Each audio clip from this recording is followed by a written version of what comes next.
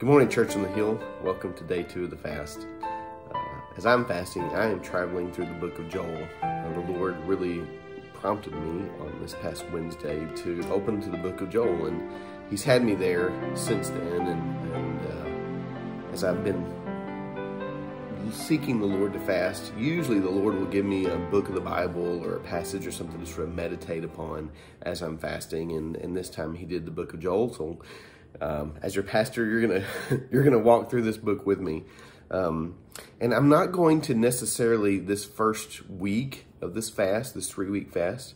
Uh, I'm not going to tell you what the book of Joel is really all about. I'm going to give you an assignment every day uh, that I want you to do, and then we're going to simply observe the text. You know, whenever you do a quiet time or take a piece of the Bible and begin to study it, the first thing you want to do is observe it.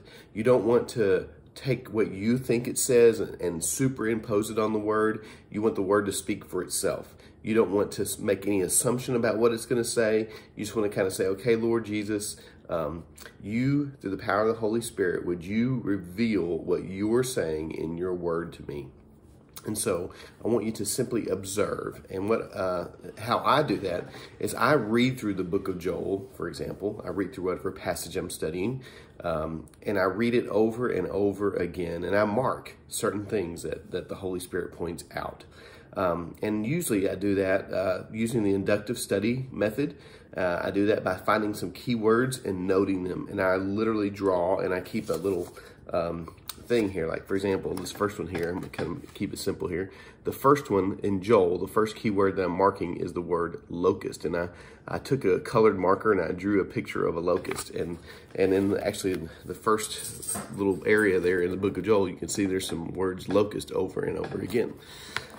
Um, so today, I simply want you to take your Bible, get some colored pencils or something that you can mark and, and, and come up, and I want you to mark some key words. The key words I want you to mark are the word locust, Zion, return, the phrase I will, and never again. And I've kind of made a card to kind of um, guide you on this process.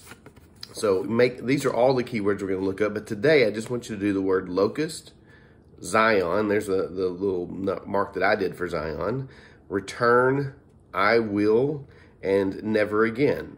Now, you can use any symbol you want. These are symbols that I came up with. You're under grace and under law. You can do whatever symbol you want to do. Um, uh, but uh, those are the ones that I came up with. And today, all I want you to do is, is simply mark those keywords in the book of Joel. And I want you to observe what the Bible is saying. Uh, and then tomorrow we're going to mark some more keywords. We're going to do the do some other keywords tomorrow. Uh, you're not going to do all of these today. Remember, I just want you to do those those five: locust, Zion. They're on your screen there. Return, I will, and never again. Mark those. So how I do it is I literally read through the entire book of Joel, which is only three chapters. It's, it's a very short book. Um, I read through it the first time and I mark every time I see the word locust. And you're probably going to be going, man, I don't get this at all. I don't understand this. I have no idea what God's saying in this passage. Then you're going to read through again and mark every time you see the word Zion. And then you're going to read through it again and mark every time you see the word return and then you're going to read through it again and mark every time you see the, the phrase I will and read through it again and mark every time you see the words never again. And so as you do that, what you're doing is you're observing. You're observing what the text says on your own. And this way you can learn to study the Bible without necessarily needing a commentary or anything like that. Anything like that. Now, I do want to give you a little bit of, of commentary about the book of Joel. Um, although we know nothing about Joel, we, we really do know very little, nothing about Joel, uh, nor the exact time of the writing of this, or uh, we know that other than what we read in this short prophetic book about him, really. Joel's message is significant, though. Um, when Peter preached on Pentecost, he explained Pentecost in light of a prophecy set in Joel. You know, he quotes in Acts chapter 2 uh, on the day of Pentecost 14 through 21, he quotes Joel 2, 28 to 32. So uh, those of you who went through Acts with us, you're going to see that, you know, this passage uh, really has a little bit about what Peter was saying there on the day of Pentecost. Joel uses a present day plague. Sound familiar? he uses a present day plague during his time to call, to call God's people to repentance. And as he does this, Joel, like the other prophets, warns them of the coming day of the Lord, a day that is as sure as the promises of God. And so that's as much as I want to give you right now.